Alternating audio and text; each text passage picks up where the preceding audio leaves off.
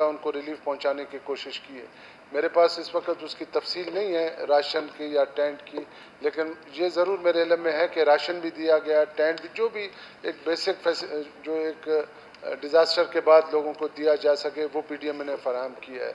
अब समरी भी गया हुआ है तो इन ताला मैं सना साहब से ये उनको बताना चाहूँगा। इन ताला आप ख़ास तौर पे अपोजिशन के एक रुपया भी नहीं कटेगा अगर, अगर वहाँ के साजिद के गाँव के लिए अगर पैसे कम पड़ते हैं वो पूरे स्ट्रक्चर को ठीक करने के लिए तो हुकूमत अपने जो हम ट्रेजरी बेंचेस में जो बैठे हैं हम अपने पैसे देने के लिए तैयार हैं। वो भी हमारे ही लोग हैं।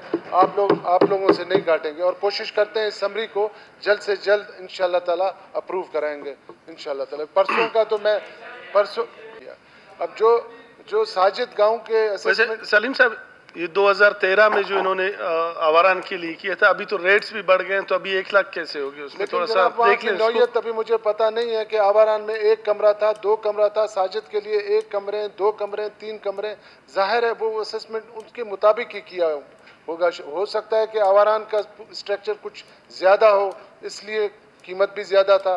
और इस गाँव का उन्होंने असेसमेंट उस हवाले से किया जितना ऑलरेडी वहाँ पर लोग रह रहे थे उसी हवाले से किया। तो रेट्स मेरे ख्याल में उन्होंने जो भी असेसमेंट किया वो ठीक किया। बाकी समरी के हवाले से जल्द से जल्द इंशाल्लाह मैं कल ही सीएम साहब के पास जाऊँगा और इस तवज्जा दिलाओ नोटिस के हवाले से भी और इस पर फॉलोअप करके जल्द से जल्द अप्रूव कराएँगे इन